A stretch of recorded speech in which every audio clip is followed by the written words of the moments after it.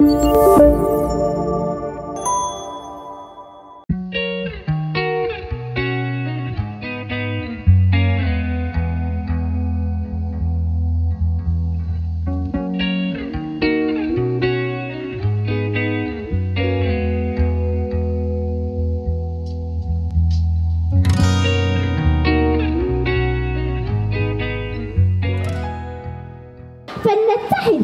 بيد لنقضي هذا الوعي معا. ضمانا لعالم أخضر وأكثر استدامة لنا. هذه المظاهرة هي عبارة عن معرض فني آه، يقدم من طرف آه، تلاميذ آه، مدرسة رياض المعرفة. وندوة تقدم كذلك لفائدة التلاميذ بخصوص الأسبوع الإيكولوجي الذي يقام بالمدرسة هذا الأسبوع الإيكولوجي هو بحد ذاته فكرة تبلورت في إطار الأعمال التي تقوم بها المدرسة لأن عندها آه، ما يسمى باللغة الفرنسية la brigade écologique هذا آه، فريق من التلاميذ والتلميذات الذين يحافظون على البيئة آه، في المدرسة وفي الشارع المجاور للمدرسة. ويحسسون الناس بفائدة البيئة. هذا العمل اللي كيقوموا به التلاميذ والمدرسة في الإطار أعطانا فكرة باش نساعدوا بصفتنا جمعية في تربية النشء وتحسيس التلاميذ. ومن هذا المنوال التلاميذ كذلك الصغار سيحسسون الكبار لأن الأفكار لا تمر دائما من الكبار إلى الكبار ولكن تكون مسموعة من الصغار نحو الكبار. وكان هذا هو الهدف الأساسي لمواكبة كل ما يقوم به المغرب بلدنا الحبيب في هذا الإطار لمكافحة التغيرات البيئية والهدر المائي وكل آه، شكل من أشكال التغيرات المناخية. آه، قلنا باش كجمعية نقوموا بهذا آه، المعرض الفني اللي عبارة عن 68 لوحة رسمت من طرف تلاميذ وتلميذات وبعض الأشكال الأخرى آه، c'est des sortes de maquettes اللي العدد ديالهم 38 آه، اشتغلوا عليهم لمدة ثلاث شهور آه، وكيعرضوهم في المدرسة. كان العرض غادي يكون في ساحة النخيل ولكن لأسباب لوجستيكية لم نتوصل لعرضها هناك. وقمنا بالمعرض هنا في المدرسة اللي غادي يحضروه شخصيات آه، وتم الافتتاح ديالو هذا الصباح ويحضروا آباء وأمهات التلاميذ بزيارته لمدة ثلاث أيام. آه، بالنسبة لهذه الندوة هذه آه، إحنا بصفتنا جمعية آباء واولياء التلاميذ ارتأينا أنه المدرسة تقوم بجميع الأنشطة التربوية والاجتماعية الموازية. وليس لنا باب للاشتغال لأن الدور ديال الجمعية تقوم به الحمد لله المدرسة وتتفوق في هذا الدور هذا. آه، قلنا المسألة الوحيدة التي يمكن أن نقدمها للتلاميذ وهو العلم.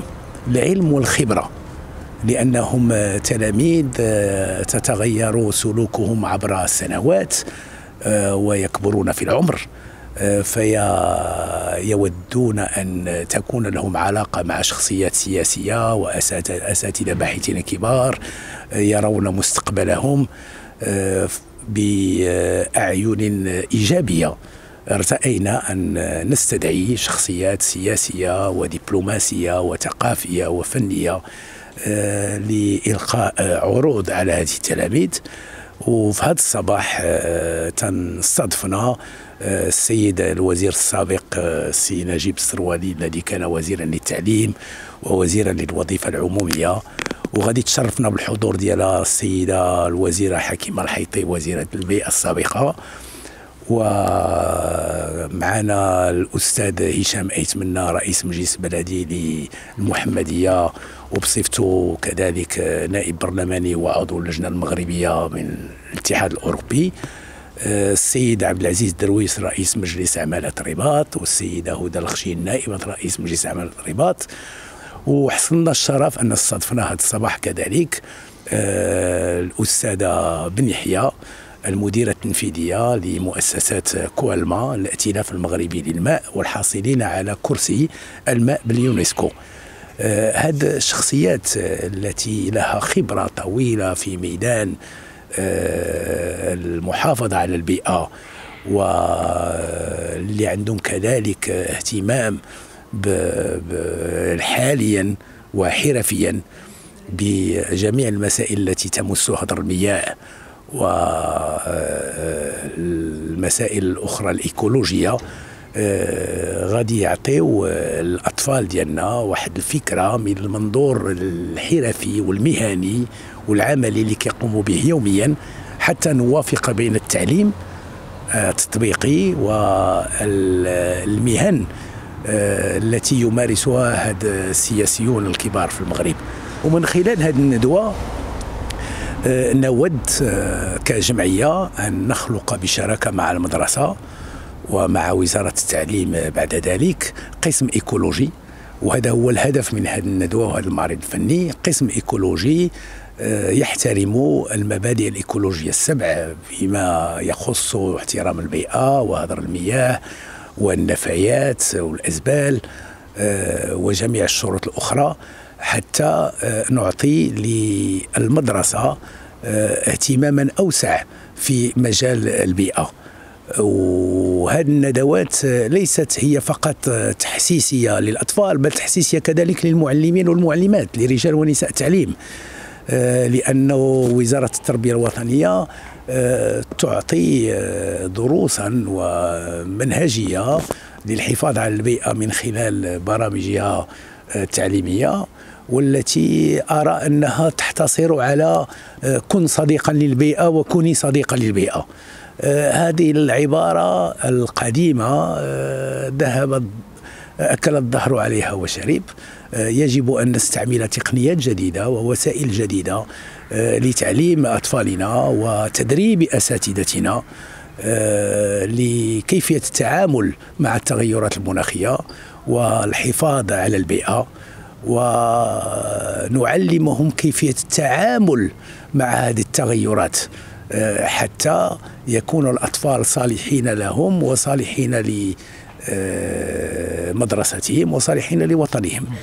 آه، الجمعية تقوم دائما بندوات من هذا الطراز وهي قادمة إن شاء الله على تقديم ندوات أخرى. آه، أولا نحن جد سعداء بهذا المعرض وهذا الأنشطة والورشات اللي كتنظمها المؤسسة من أجل المحافظة على البيئة ومن أجل التنوع الإيكولوجي في بلادنا وتحسيس وتوعية التلاميذ بأهمية البيئة والماء.